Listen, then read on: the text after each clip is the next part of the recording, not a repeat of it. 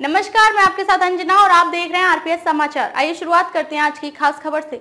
Mafia Atiq Ahmad के वकील विजय मिश्रा पर कसा कानूनी शिकंजा, दो मुकदमों में चार्जशीट दाखिल।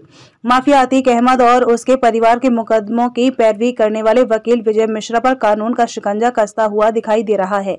प्रयागराज पुलिस ने विजय मिश्रा के खिलाफ दो मुकदमों में चार्जशीट दाखिल की है। प्रयागराज के चर्चित उमेश पाल व दो सरकारी गनर शूट आउट केस और लकड़ी व्यापारी सईद अहमद से तीन करोड़ रुपए की रंगदारी मांगे जाने के मामले में चार्जशीट दाखिल की गई है। बता दें कि Umesh Pal shoot out case की विवेचना में वकील विजय मिश्रा का नाम सामने आया था।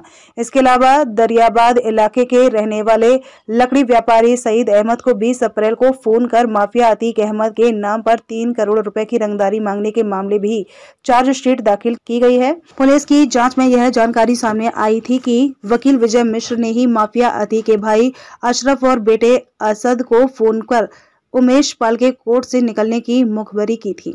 विजय मिश्रा को अब तक कुल नौ मामलों में आरोपी बनाया गया है। उसके खिलाफ पहला केस साल 2003 में दर्ज हुआ था। विजय मिश्रा के खिलाफ गैंगस्टर एक्ट के तहत भी कार्यवाही हो चुकी है। बता दें कि यूपी एसटीएफ ने हाल ही में माफिया और दिवंगत पूर्व सांसद अतीक अहमद के मेरठ निवासी एक रिश्तेदार कमर अहमद काजमी को गिरफ़्तार किया है।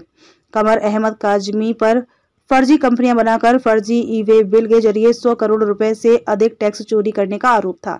इसी साल 2023 में फरवरी में प्रयागराज में उमेश पाल की दिन दहाड़े हत्या हुई थी।